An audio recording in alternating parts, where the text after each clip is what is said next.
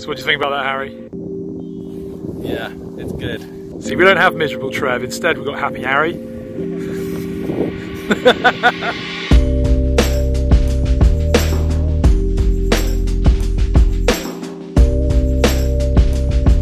There hasn't been a negative review so far of the Holybro Kopis 1, and that's for very good reason. It is just brilliant and beautiful.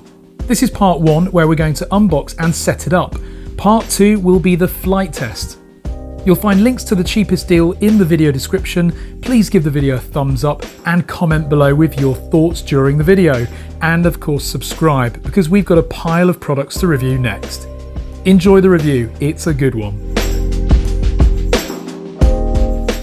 So if you were to ask me which racing quadcopter have I been looking forward to reviewing this year, it would be this, the Holybro Kopis 1, and it's come to us from GearBest. And this is the nice thing actually about GearBest, it has its own box, this quadcopter, but rather than just pad the box, they actually put the whole box in a bigger box. But at least you know you get absolute safe arrival of your product that you've ordered. Let's get it opened. And there it is. So as I say, we've got this nice presentation box and it's really nice that GearBest protect the products when they send them out to you. So here it is, the Kopis 1. I don't know if that's how you pronounce it. Could be Copis, but probably Kopis. On the back, we've got the specification of the quad, but we're just gonna dive straight into the box because I cannot wait to see this one. Now this has been getting rave reviews online, this kit, and for good reason. It's not just good because of the price, it's good because the specification really is pretty top. Look at this lovely presentation case that this arrives in. This is the first racing quadcopter I've ever unboxed that actually comes with its own box. Branded with Holybro as well, so it's not just some random OEM case. That's really, really smart. Open up the case, and there it is. Whoa, look at that, it's gigantic. So it's protected inside the case by this strap, which you might think is the battery strap, but it's not, it's part of the actual case. So there is the quadcopter, and what an absolute beauty that is. Now I'm used to unboxing budget quads. I have bought some premium quads myself, of course, but they just don't feel as good as this one. So we'll move on to that in just a second. We'll just see what else is in the box and we'll come straight back to it.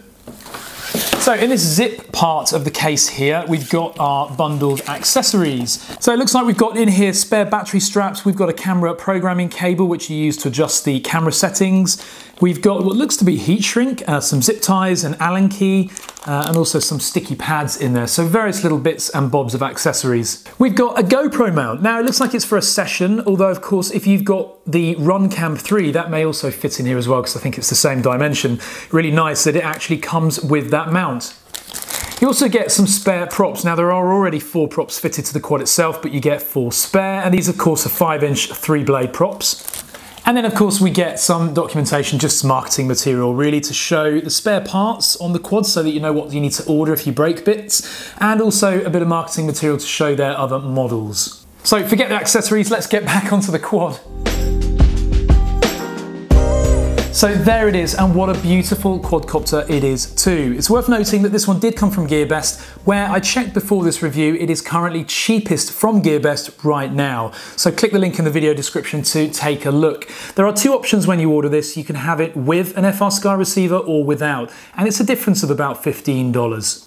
The main frame here is 5mm woven carbon fibre and it feels beautiful quality. The edges are all nicely rounded and contoured. There are no sharp edges here and it just feels really good quality. On the ends of the arms here, we've got T-motors and they are brushless they're part of their Air 40 range and they are 2450 kV motors, so nice fast spinning motors. It's incredible just how much power can be extracted from motors that are so tiny. Attached to those motors, we've got BL Heli speed controllers. They are 30 amp and they support D-Shot 1200 as well. Now they are mounted underneath the arms, which I'm not a massive fan of personally because of potential for damage if you crash. Although you have got the height of the battery, which is going to protect those, although your battery may come off worse. The wires from the speed controllers to the motors do feel very, very soft rubber. Uh, that is potentially a weakness there as well. The motors are spinning 5 inch 3 blade props and of course as I mentioned earlier you get 4 spare props in the bag as well. Looking at the front, now this is lovely. We've got a Runcam Swift Mini, not just some cheap off the shelf camera, but one of the most well respected cameras in the FPV world. It's a 600 TVL camera, it's got a 150 FOV via the 2.3mm lens on the front of it, and of course, being a Runcam Swift Mini, you get features like WDR, wide dynamic range, which means the brightness contrast between ground and sky is automatically taken care of. In other words, your picture should look beautiful all the time. It's also worth noting that the camera is fully tiltable as well. It comes with a preset tilt of what looks to be about 60 degrees, but it tilts all the way up to 90 in case you want to fly like a crazy person. Connected to that camera, we've got a VTX by Atlatl. It's one of their HV range and it's a 40 channel switchable VTX with a power output of between 25 up to 600 milliwatts. Now, I think if you turn it on at 600 milliwatts, you're probably going to knock out your local TV station. That's significantly powerful. But a nice feature of the VTX as well is that it's got pit mode, which basically when you enable that, it knocks the milliwatt output down to 0.5, which means that you're not going to take out anyone else who's already flying in the air. Inside the main stack here, we've got a lovely brand new F4 flight controller with loads of nice features, including, for example, programmable on-screen display. You can even set the VTX power and output via the on-screen display, so that's really cool. Attached to that FC on the back as well is a buzzer. Good. So we've got a voltage warning, and if we happen to lose the model, we're going to be able to hear it. On the side of the stack, we've also got the USB port for programming this via our computer, and that's what we'll be doing next. And then on the rear, we've got the main VTX antenna, which comes with it. That's a mushroom style, unusual shape antenna actually. By the sides of that antenna, we've then got the antennas for our 2.4 gig control. Now, I don't personally like the way that they've routed these antennas out. It just feels a bit clumsy, and they're also potentially in the way of those spinning props. I would have preferred to have seen some diagonal antenna mounts on the rear here to just give maximum possible signal and also to keep the antennas well away from these spinning motors. Underneath that antenna, we've then got an XT60 power connector, which is great. And then we've also got some little LED clusters. So there are six in total. They're going to be pre-configured, but I would imagine you can also customize those via the flight controller configuration. Finally, looking underneath, we've got the speed controllers and the wires routed, as I mentioned earlier, but we've also got a battery protection plate. It's made of carbon fiber and it's just about the right size for a 4S 1300 milliamp battery. That's attached to the battery strap and so you're not going to lose that too easily. And just finally, there's a little lead coming out here. Now I think it's coming from the camera, in which case it's probably for using the accessory that comes with it, which is the programming cable for that Runcam, just so that you can alter other aspects of the picture. So a quick weigh-in now with the Kopis 1 and it weighs in at 304 grams, which is a little bit on the heavy side, but then again we're packing a lot of technology into this quad. And also remember, power to weight ratio, this thing is gonna be powerful. So not so bad after all.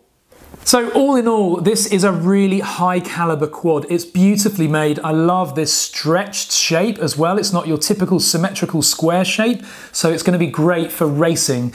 It's just really, really nicely made, and there really isn't anything else I would say on the market right now that gives you components such as T-Motors, a Runcam camera, a really good brand VTX, all in one, ready to fly. So before we can actually fly the Kopis 1, we're going to have to bind it with our transmitter. I've chosen the model which incorporates an FrSky receiver and I've got my Taranis X9D here.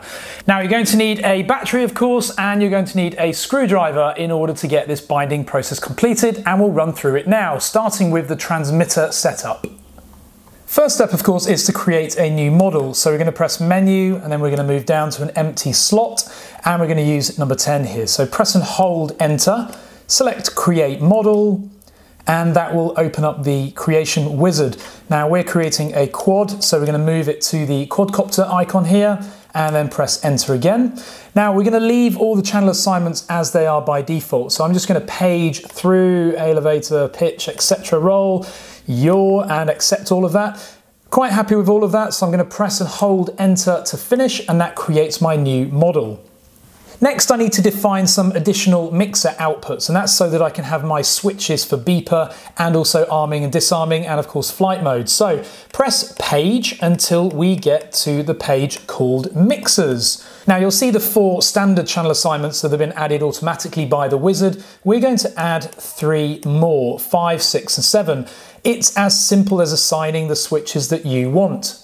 So channel 5 I'm going to have for arming and disarming, so I'm going to press enter on that, move down to the source button, press enter again, and now flick my arm disarm switch. That automatically sets that to the switch that I need. Press exit, and that is then 5 defined. Do the same with 6 and 7, so I'm going to use channel 6 for my mode switch up here. This is normally the one I use. Lovely. And then finally, we're going to set the channel 7 switch, and I'm going to use that for my beeper. So if I lose my model, and I usually use this switch here. Now, these switches are all going to be assigned to your particular needs. This is just my personal preference. So we've now set up the mixer tab. When you finish setting up yours, it should look something like that. So now that we've got our model memory set up in the Taranis, we're now going to bind it to the quadcopter. To do that, we first need to prepare the transmitter. And to do that, you need to go into the settings for that model, press page once, and then go down to the bottom. You can do that quickly by pressing the plus. And you'll see here we've got mode. Now make sure mode is set to D16 because the FrSky receiver that comes with the Kopis 1 is a D16 receiver. You can leave everything else as it is, but get the cursor ready on the bind button. As soon as we're ready to bind, we're going to press enter. Transmitter will then start emitting a beep. You can then press the enter button and the transmitter will start beeping. Like that. We're going to now put the transmitter to one side and leave it doing that. Okay, so with the transmitter in the background beeping away, we're now going to get the quadcopter ready to bind. You can see near the top plate of the Kopis 1 there's a little micro button there. That's the actual FrSky receiver. Now of course this only is relevant if you've got the version that includes the receiver, but basically all we need to do is connect the battery whilst holding down that button and that will put the receiver into bind mode. So we'll do that now. So with the button held down, I'm going to plug it in. Now it's worth adding as well, if you are new to drones, it's worth removing the props before you do this, but I'm going to leave them attached. So connect the battery like that. And that puts our receiver into binding mode and it should now bind with our Taranis. You can see the lights flashing away in here. So what we can now do is turn it all off, unplug the quadcopter first, turn off the transmitter, and then turn it all back on, starting with the transmitter first, and then plug in the quadcopter. And we'll know if we've been successful because the little receiver light will now be solid green. That means we've successfully bound to the transmitter. You can also verify the binding by checking the telemetry on the Taranis. So if we go to the very final page of the Taranis model setup, we can go down to discover new sensors, press enter, and we've got a load of data coming back. This is lovely. We've got loads of sensors there, battery level, the RSSI, SWR, um, loads of detail. So that's the model set up and bound. What we're gonna do now is get into the flight controller configuration and set this up ready for flight. So before we start with the activity in Betaflight, a few safety tips. Remove the props from the Kopis 1 before you start this activity. That's really important because changes you make during the Betaflight configuration could prompt your props to spin up to full. And this is a powerful quad that could do some serious damage. Remove all four props. You need to keep the main battery connected, however, so that you can get power to your receiver. Launch Betaflight in the web browser and then connect your USB cable into the quadcopter. Your laptop will make a noise and then it may install it. So keep an eye on the bottom right hand corner of the screen to see the progress there. Mine's already been connected and is installed and so I can now click connect. So let's start with the basic setup. So first of all, we see the accelerator calibration, which looks nice and flat. I'm actually gonna leave that as it is. Ports tab, we don't need to do anything there. Configuration is an interesting one. So it's running D-Shot 600, therefore these motors and the speed controllers do not need any calibration routine, although they do sometimes recommend turning it back to a legacy protocol, calibrating the speed controllers and then switching back to DShot 600, but I'm going to leave it as it is. Now you'll see the quad does actually support DShot 1200, but we're going to leave it on the factory setting at the moment of DShot 600. Looking through there, we've got the gyro update set to 8000, wow, and PID loops at 2000, that's really good. SBUS receiver is already set up. Got a setting here for craft name, so I'm going to put in here Ash Kopis 1. And then what else do we have here? Yep, nothing else that we need to change here. We're certainly not going to be flying this 3D. Great to see that we've got current metering and VBAT all enabled. So I'm going to quickly click save and reboot just to implement that configuration. And then we're going to be reconnected like that. Okay, now onto the PID tuning tab. Now this apparently is a great, well-tuned quad straight from the factory, so I'm not changing anything here. The only thing I'm going to change actually is to up the rates up to 0.8, and this is really personal preference, so it's up to you how you set these. And I'm going to leave yaw as it is. Just scrolling through, what else do we have here? Um, just to check the rates, see how sensitive it might be. Yeah, that looks nice to me. Okay, I'm going to click save there, and then we're going to move to the receiver tab. So on the receiver tab, just going to check that all my channels match correctly. So when I put my pitch back and forward, my roll left and right, everything is responding as it should. My yaw and of course my throttle, that's all working perfectly. Now you can see, however, that we have an endpoint mismatch here. And I've written an article on how to fix that. I'm going to leave it as it is for now, but have a look at the article. There's a link on the screen now and that will tell you how to fix these so that they are tidy and neat Next is the most important tab as far as I'm concerned, modes. Now, from the factory, we only have horizon mode configured, and of course that means that rate mode is also there as well. But we're going to be configuring some additional options here. So first of all, ARM at the moment is reversed. I prefer the switch to be the other way around. Now I could do that, of course, by altering the settings on the receiver, but I'm just gonna slide the sliders up like that, and I'm gonna save that. There we go. So it's now going to arm when the switch is on the other side. So if I test that now, yep, perfect. And the motor starts spinning. I'm now going to configure angle mode as well. And I'm going to configure that as the initial switch position on aux2. So I want horizon mode on the middle of that range there. And then I want rate mode, of course, in the middle here. But of course, configuring rate mode requires no setting there. Next is the beeper. Now I do want my beeper enabled. I've put that on aux3 and I'm going to set that up to the top so that when I switch my beeper switch, when I save it, of course, there we go. So we've got a beeper going. That works perfectly. Now you might be wondering where the air mode toggle is. Now that's not here anymore as of Betaflight 3.1 I'm reliably informed. Under configuration you'll see there's now an option that says air mode permanently enabled. If you disable that you can then configure it under the different modes. But you might as well leave it permanently enabled. I don't see any reason why not unless you're not a fan of the props spinning when you first arm the quad. So very finally we're going to skip the motors tab because we don't need to calibrate that. OSD, we're going to turn off a few elements here that we don't want. I'm going to turn off the horizon sidebars, we don't need that. I love the way that we've got the VTX channel visible on here, things like that. Loads of options that you can enable and disable, and this OSD is really flexible, so configure that as you desire. And then of course you can configure the LEDs as well.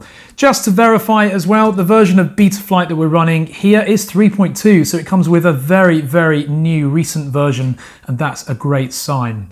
So now that we've configured it, all that's left to do is fly it.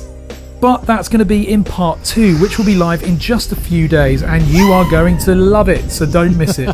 Go and look at the Kopis one now via the link in the video description, and also comment on the video with your thoughts.